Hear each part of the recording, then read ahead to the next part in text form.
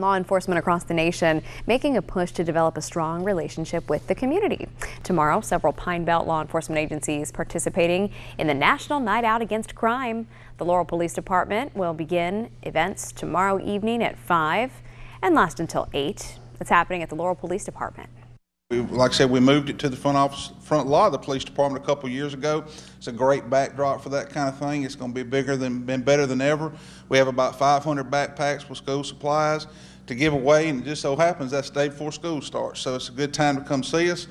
We have food, Dunkin' booths. We even have the uh, mechanical bull that's usually at the fair. So that's a little bit different this year. As always, there's something for everybody. Come out and spend a little time with us next Tuesday. The city of Hattiesburg also hosting a senior citizens lunch and learn. That's at the Police Academy, Police and Fire Academy there starting at 11 a.m. That's part of their National Night Out Against Crime initiative. Lunch will be followed by several neighborhood parties, which begin at 6.